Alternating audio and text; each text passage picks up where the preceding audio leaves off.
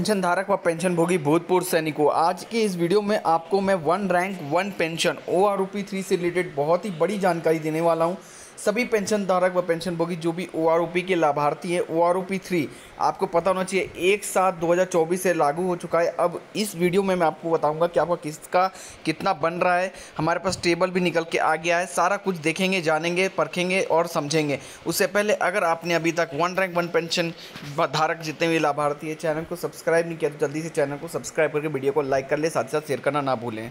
ये आप देख सकते हैं, टेबल हमारे सामने है, जिसमें ओ आर थ्री से रिलेटेड एक जुलाई 2024 से इफेक्टेड जो रिवीजन हुआ है, एक चार पहले चौदह दो हज़ार चौदह में हुआ था, उन्नीस में और चौबीस में, एक जुलाई को। तो ओ आर थ्री में कितना किसका बन रहा है ओ आर टू में कितना बना था वन में कितना बना था, और इस बार कितना फ़ायदा हो रहा है ओ आर थ्री में, सारी जानकारी मिनिमम मैक्सिमम बेस ईयर दो हज़ार तेईस को लेते हुए क्या पेंशन धारक और पेंशन भोगी इस बार देखने को मिलेगा।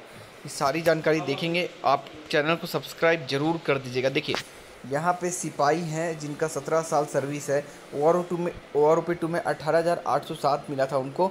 और यहाँ पे मिनिमम और मैक्सिमम आप देख सकते हैं बीस हज़ार दो हज़ार तेईस को लेते हुए ओ आर थ्री में बीस हज़ार आठ सौ बन रहा है। मतलब आप कहीं ना कहीं देख सकते हैं यहाँ पे तकरीबन कितना का फ़ायदा हो रहा है। तो उन्नीस सौ तिरानवे रुपये का फ़ायदा हो रहा है हमारे सिपाही रैंक को। वैसे ही आप देखेंगे तो यहाँ पे नायक कोई फ़ायदा ऑनरेबल हवादार को फ़ायदा है। सबसे ज़्यादा फ़ायदा बात करें तो नायक सूबेदार को एन बी सूबेदार को ज़्यादा फ़ायदा है।